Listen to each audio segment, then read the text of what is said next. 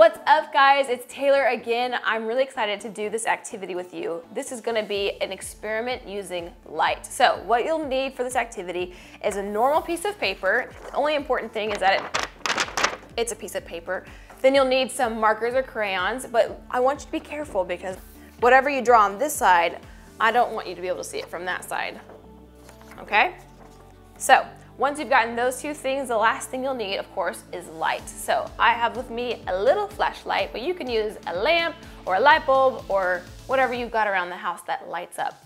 Okay, so what we're gonna do first, once you've gotten your piece of paper and your writing utensils, is that we're gonna put things on our piece of paper that might be in our heads or in our hearts. So there could be a few things. I'm gonna draw a, a few things like, first I'll draw an idea I feel like God put in my heart and I'm really excited about. So to represent this idea, I'm gonna draw a light bulb.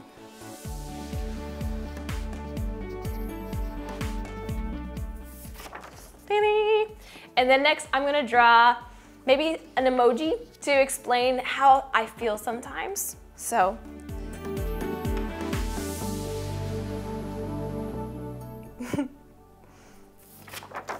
what do you think about my emoji?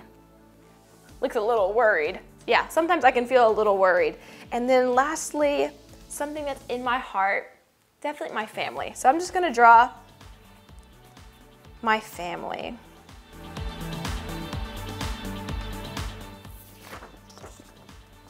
Do you like my mom's curly hair? She has very curly hair.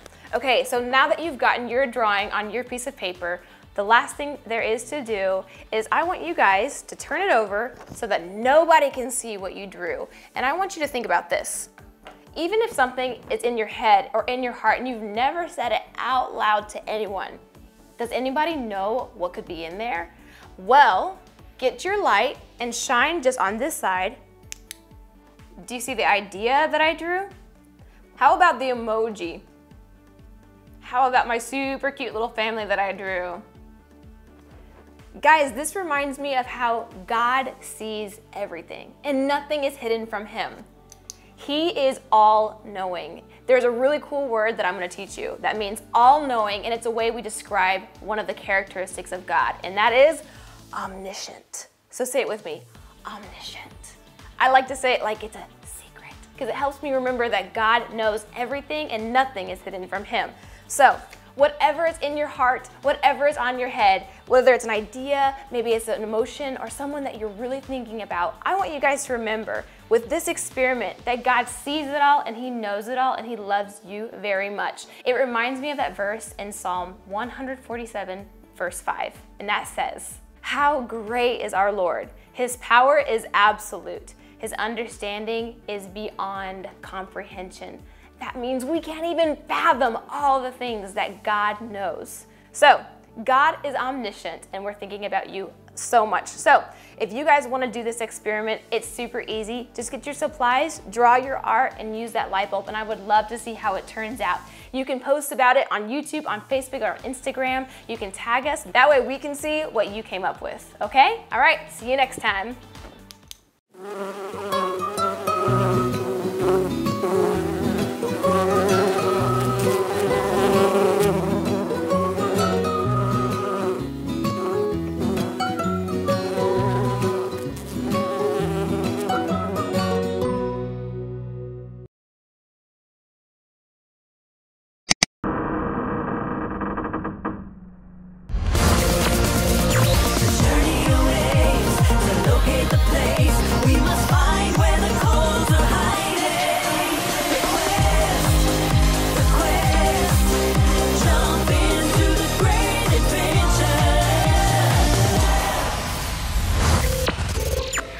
Really hope Quest finds a coordinate to another clue today. I mean, it's been a week and nothing. I know. I mean, we have to find something. Dr. No Fun is out there. And if we don't find those codes, then. Guys, guys, we will find it. I know we will. The code is out there.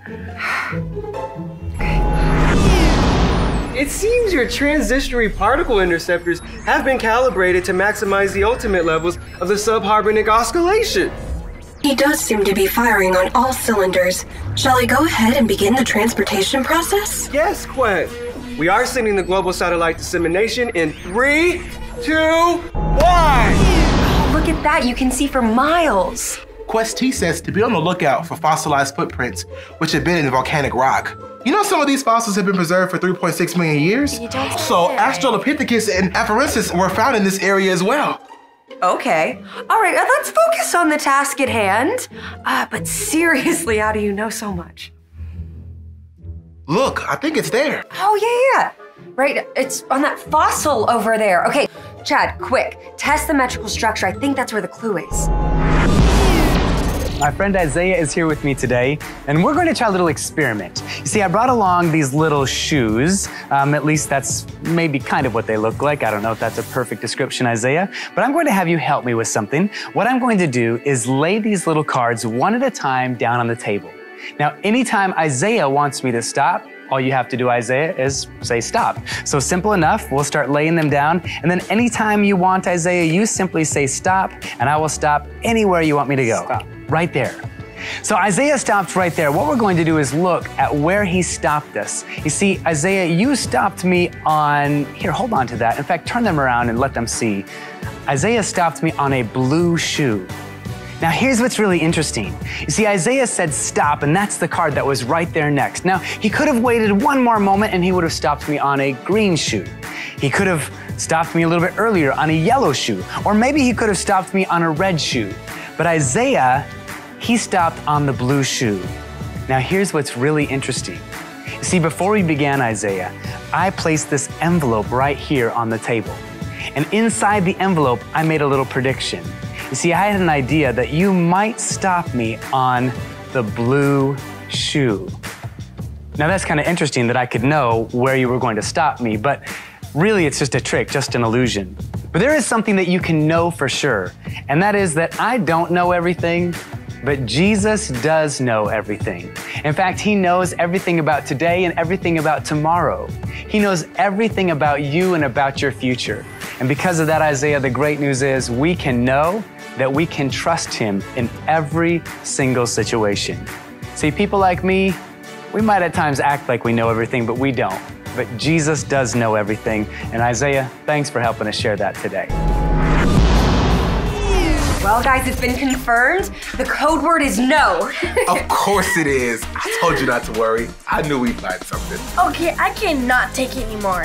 Since when did you know everything about everything? I mean, can I help it? I've been mentally and intellectually blessed. oh, really? Really? Okay. All right, then, uh, what's my grandmother's uh, middle name? Brittany, No. Matilda. Nope. Gertrude? Yes. Turn it. No. Okay, see, you- Come it's a trick on. question. I don't A trick question? Yes. I give you three tries.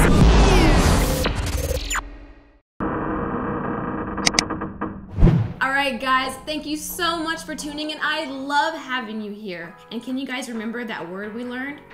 God knows what it is because He knows everything. That's what the word means. The word is omniscient. So say it with me and say it like a secret omniscient.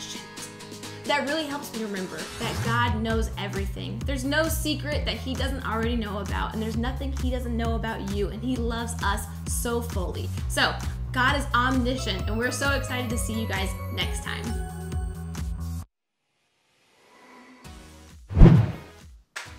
Yes! Did you see that? Okay, I'm practicing because we have a challenge for you.